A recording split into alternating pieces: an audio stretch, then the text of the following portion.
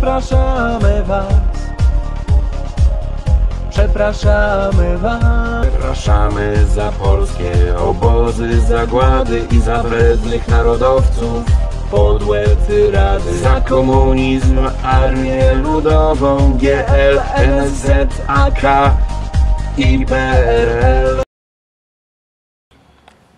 Znajdujemy się przy ulicy Górnej 6 w Otwocku, w miejscu, w którym była kiedyś synagoga Reindorfa i mykwa Reindorfa. W 1999 roku Żydzi odebrali od Komisji Regulacyjnej ten budynek, a przed 2002 roku, rokiem zniszczyli go absolutnie. Rodziny, które tutaj zamieszkały zostały wyrzucone.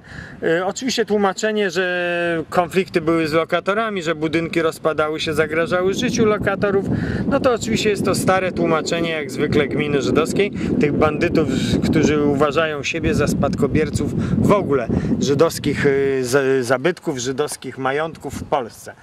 Oczywiście też kłamstwem było, że jest to mała atrakcyjność działki, którą sami tutaj powiedzieli. Sprzedali za 216 tysięcy złotych i firma budowlana, która również ta sama, która dwa lata wcześniej kupiła synagogę w Siedlcach, ta sama firma tutaj przyjechała do Warszawy i oczywiście rozwaliła i postawiła dom mieszkalny. W Siedlcach również stoi dom mieszkalny, bardzo podobny do tego.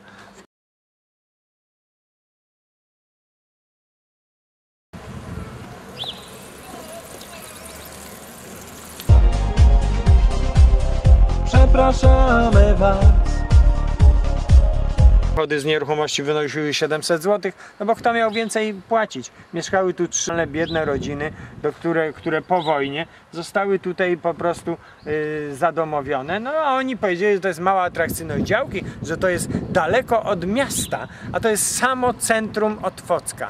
Tuż obok za mną znajduje się przecież dworzec PK, PKS-u, a więc no jak może być daleko, jeśli, jeśli do dworca PKS-u jest zaledwie 300 metrów z tego, y, co widać. Tutaj z drugiej strony budynku, gdzie stała synagoga Reindorfa, y, mamy 50 metrów y, z tyłu mamy dworzec kolejowy. Dworzec kolejowy i widzimy rampę. Rampę, z której również wywożono Żydów do Treblinki podczas likwidacji getta otwockiego. Tu na tej rampie oczywiście współpracujący z gminą żydowską, którzy pozwolili na, pozwolili na rozwalenie tej synagogi, redaktor Zbigniew Nosowski, który jest przewodniczącym Komitetu Pamięci Żydów Otwockich i Karczewskich oraz inni ludzie pomogli tutaj właśnie w rozwaleniu tego, tego budynku, jedynej pamiątki żydowskiej, która pozostała po tych Żydach, którzy zostali wymordowani przez hitlerowców.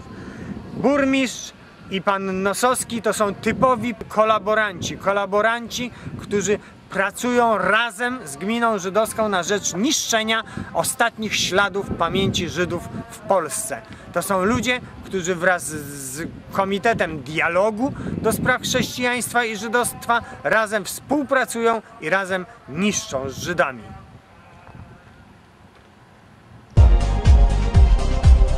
Przepraszamy was.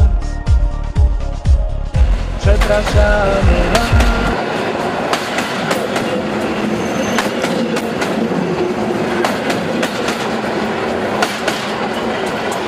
Tej właśnie rampy, tylko nie taki piękny pociąg, wywoził Żydów otwockich, Żydów karczeskich, wywoził do Treblinki.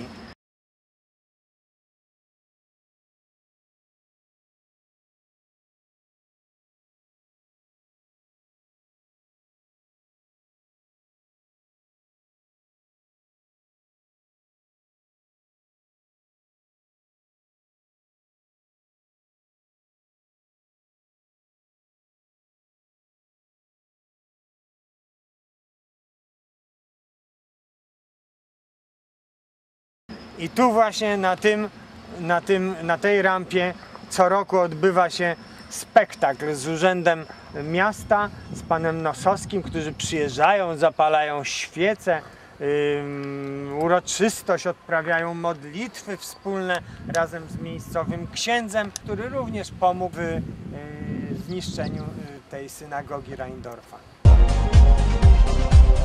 Przepraszamy was. Przepraszamy was. widzimy jeszcze ślady po mykwie. To jest kafelek, z mykwy. Kafelek z mykwy, część oczywiście kafelka z mykwy. Tutaj leżą następne takie elementy, które po prostu zostały porozrzucane. I to wszystko, te cegły, które widzimy, to wszystko jest wybrukowane właśnie z pozostałości y, zniszczonej y, mykwy łaźni rytualnej. Sygnaturę jest gwiazdą Dawida. Proszę bardzo. Jest sygnatura Gwiazdy Dawida. Wszystkie kafelki w Mykwie, w łaźni żydowskiej, według religii mojżeszowej, musiały być sygnowane Gwiazdą Dawida.